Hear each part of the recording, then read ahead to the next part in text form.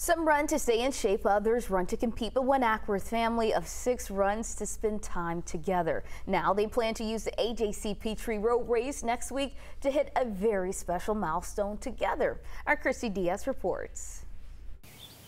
In the early morning hours, when the deer quietly graze and the sidewalks are still dark, count on one thing to break the silence of the night. And today we're going on our morning run. This Acworth family, feet pounding the pavement for their daily run. Girl Kelly, Father Abraham, right here, and their children. Turning silence to singing. As many silence, as many silence, Father Abraham. As the sun begins to rise, We're at 3.37. Like a little over a mile and a half left. Every morning at 4:30, Mom and Dad, Kelly and Abe Owen, and their three girls, Elle, Lily Kate, and Brinkley, peel themselves out of bed to run together. Their youngest Blaze stays home for now. We usually get up about, I guess, a little before five. Try to be out the door by five. I've learned to not think. You just do. You can't because you will always justify not running at 4:30 in the morning. But you never regret going.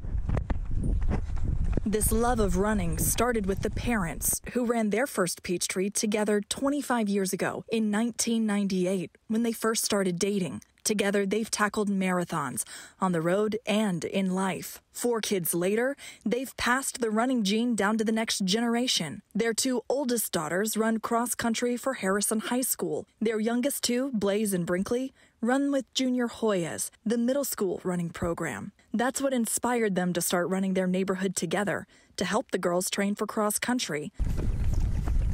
But they all say it's become more than that. like help motivate each other and push each other, which I feel like has been helped us get closer. I get excited just to be there Yeah. with Yeah, it's my all my children, and you know, running is something that like. Sorry. um, it's just sweet to see um, your kids fall in love with something that you have fallen in love with, and just follow in your footsteps. Five of the Owens have run the Peachtree before, but this year, for their 25th anniversary run, they're taking the whole family, all six of them, tackling Peachtree Road together on the 4th of July. Yeah, I mean it's pretty exciting because I mean we're all doing it together. Every other day of the year, Enjoy our run. they'll be here, back on the sidewalks of Acworth before sunrise, running with and for each other, Sorry, the camera is a little shaky, y'all. always reaching whatever the finish line is together. Good job, guys. Good job. In Cobb County, Christy Diaz, 11 Alive News.